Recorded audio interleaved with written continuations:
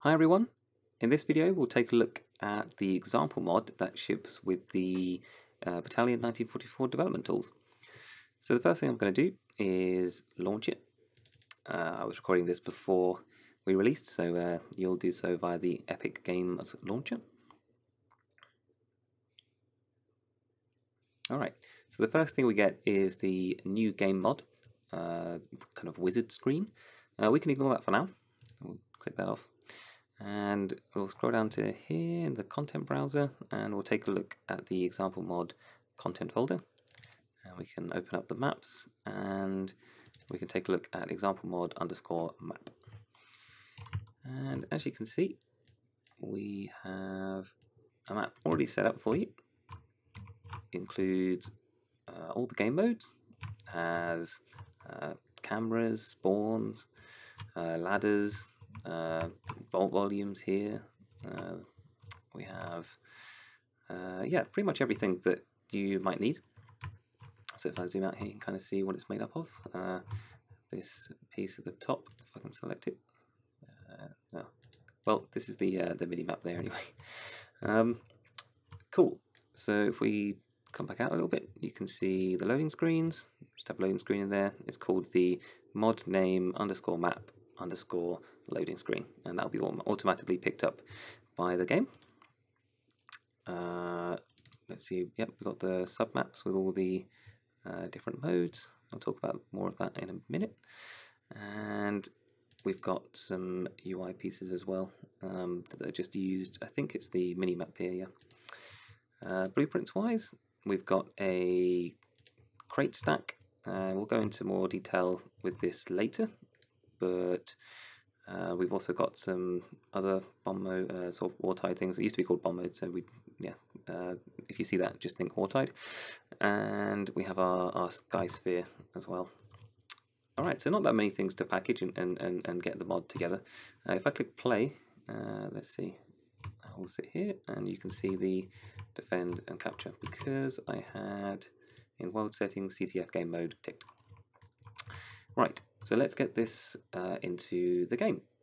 So first thing to do is to click share mod and click example mod.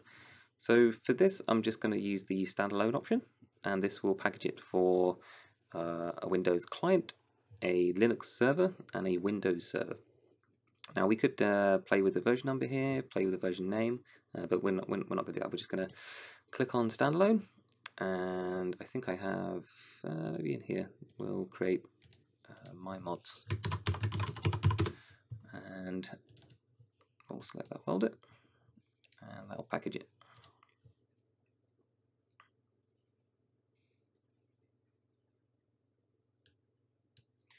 You'll see some warnings. Uh, you can ignore uh, pretty much all of those.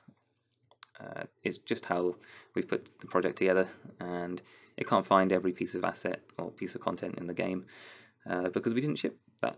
Um, but it doesn't cause any issues, so it should say success. You can see that there. It's cooking it for all different platforms. There we go. Done. So now if I go over to my uh, modding folder over here, uh, you can see that we've got my mods and it packages, packages it into a bmod uh, extension file. Now this is really just a zip, so we can extract that out, and you can see that there's a uplugin file, uh, content, packs, and we've got a folder for each platform. So if you were distributing um, to just players, and you've got a fairly large mod, or maybe either way really, you want to you want to save them um, disk space, so you could get rid of these two, and uh, you could just send them this if you were, if you were sending it uh, manually. Windows No Editor is just the uh, client uh, content here. Um, and if you wanted to obviously give them the rest of the files so they could host it on their own servers, then you do that too. But consider the context in which you're giving it to them. All right, so to get this running in our client, we could double click on this. Uh, you can see how it's got like a look very faint, but you can see a, a battalion uh, little uh, man there. Um, that's because I've ran Battalion at least once, and it registers the .bmod extension with uh, the client's PC and it will know what to do when we double click it. So you could double click this and it would say, do you want to install it? I'm going to click no because I'm going to show you the manual way just so you understand what the, uh, the installer does. So I'm going to click close on that and I'm going to bring up my Steam uh, install folder over here. Let's see.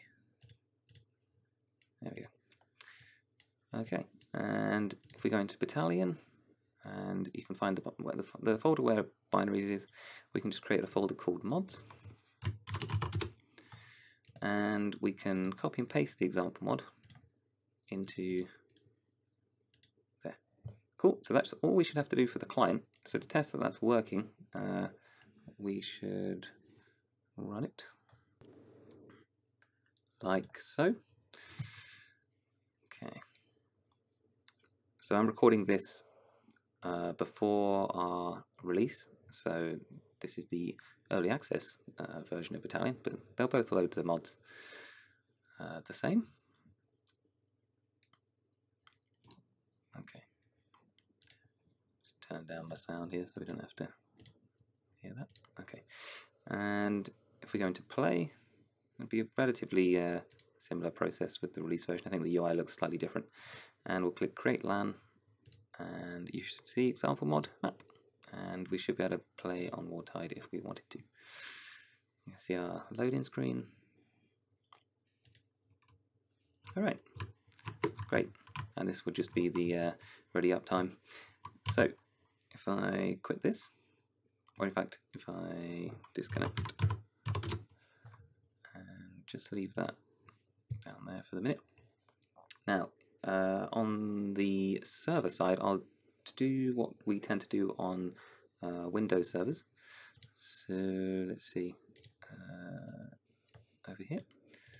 And we downloaded uh, Steam Command for this particular example. You can find this on Valve's uh, developer community website.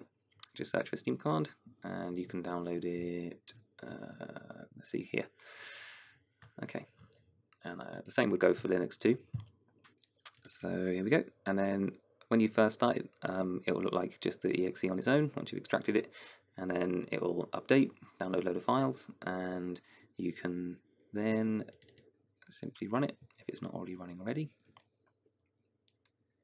And I have some commands here, so you would then go log in anonymous. and then you would go app update 805140. Great, well I've already done it, but for you it would uh, download our dedicated server files, which then can be found in Steam Apps, Common, uh, Battalion 4 dedicated server, and then obviously we've got all of our different versions in there, and you can go Windows, Battalion, and very similar to as you did with the uh, client, we can type mods, make a new folder called mods, and we can copy our example, not that, uh, nearly, let's see, um, have to go find this again, uh, because I had it up here before, let's see, um, my mods, so I'm going to control C that, and I'm going to paste it in there. Cool and this will load the Windows Server content here in that pack file. Okay, so let's dive back out. I think we ship a run dot bat. Here we are. So if I edit this and bring that over. Um, so my, my local IP uh, for this machine is this, so I put it up there in set external IP. If I expand this, it looks more like a regular command line.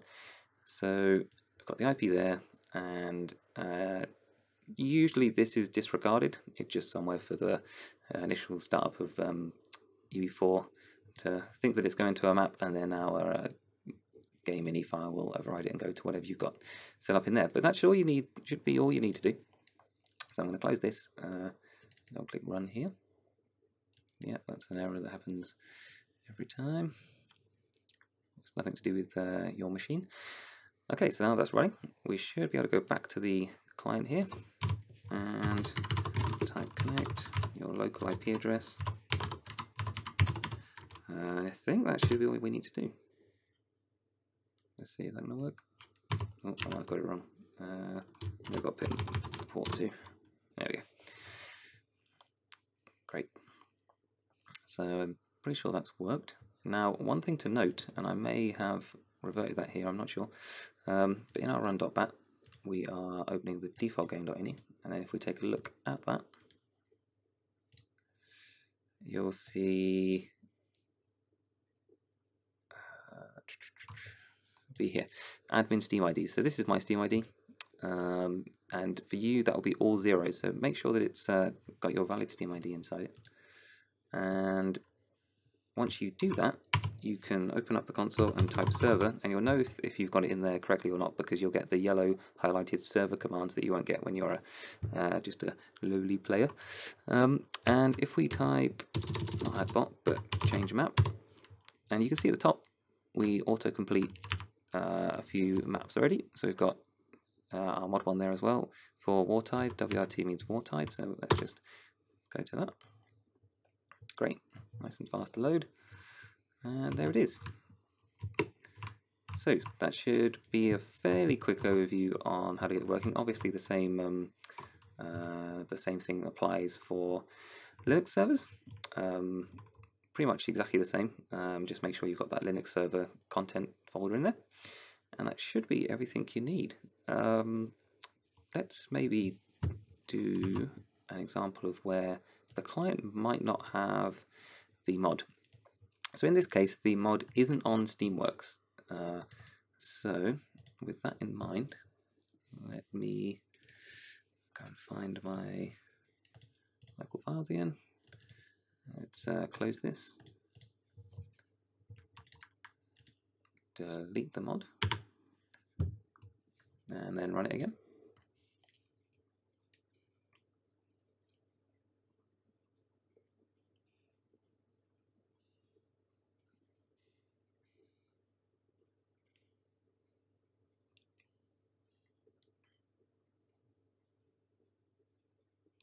okay and then uh, if we type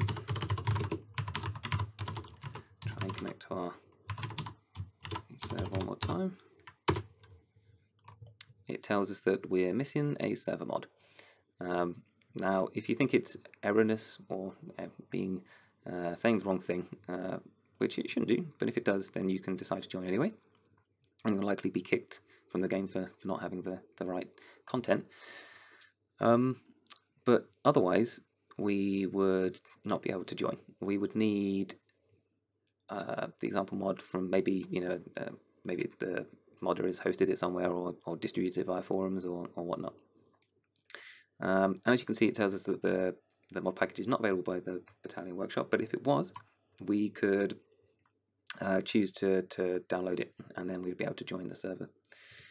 All right, cool. Well, that's it for this video and I'll uh, see you in the next one.